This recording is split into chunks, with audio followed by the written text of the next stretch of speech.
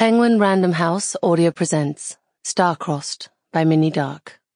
Read for you by Melissa George. For my favorite Scorpio, PT. The stars are the apexes of what wonderful triangles.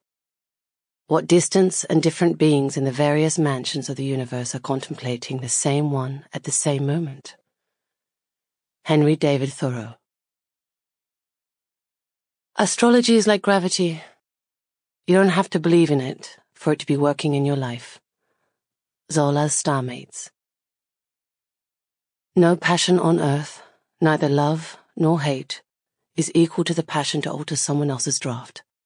H. G. Wells. Aquarius. Nicholas Jordan was born not beneath a starry sky, but in Edenvale Hospital a modest red brick building on the outskirts of a town that had four pubs, no banks, one swimming pool, six service clubs, and bitterly resented water restrictions each summer. The hospital was surrounded by beds of bright pink bougainvillea and rectangles of thirsting lawn. And at the moment of little Nick's birth, the sky above its hot tin roof was the scorching blue of a southern hemisphere noon in February. And yet the stars were there out beyond the cloudless heat of the troposphere, beyond the stratosphere's blanket of ozone, beyond the mesosphere, the thermosphere, the ionosphere, the exosphere, and the magnetosphere were the stars, millions of them, patterning the blackness and orbiting themselves into the precise configuration that would be forever mapped onto the soul of Nicholas Jordan. Joanna Jordan, Aries, owner-operator of Edenvale's Uppercut Hair Salon, the freakishly accurate goal attack for the Edenvale Stars netball team, and a two-time Miss Eden Valley title holder, did not think of the stars in the hours that followed her son's birth. Blissed out and disheveled in the hospital's sole delivery suite, she only stared into little Nick's face and charted influences of a more terrestrial nature. He's got your nose, she murmured to her husband. And she was quite right. Her baby had a perfect miniature replica of the nose that she knew and loved on the face of Mark Jordan.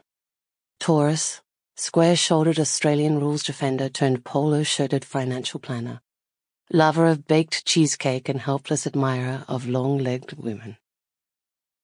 But your ears, Mark said, feeling his hand to be suddenly and gigantically out of scale, as he smoothed back a wisp of dark hair that feathered Nick's newborn head. And so, Joanna and Mark looked over their son and traced back to various sources. His cheeks, forehead, fingers, and toes.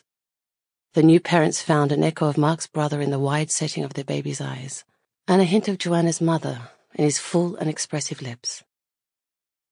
Nowhere, however, did they find, or even think to look for, the fingerprints of Beta Aquarii, a yellow supergiant burning some 537 light years from Earth or the more diffused touch of the Helix Nebula, or indeed any of the other heavenly bodies that comprise the sprawling constellation of Aquarius, within whose auspices the sun was housed at the time of their baby's birth.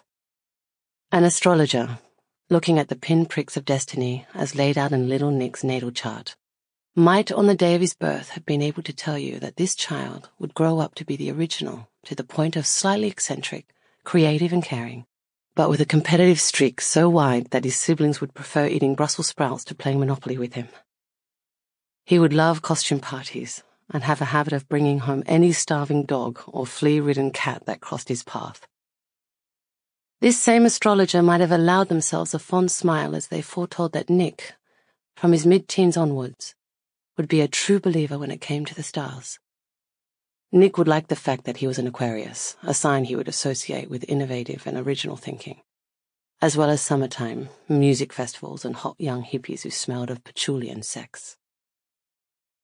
On the day of Nick's birth, however, there was no astrologer at hand, and the only person who did make an astrological prediction about baby Nick at that time was Joanna Jordan's friend, Mandy Carmichael.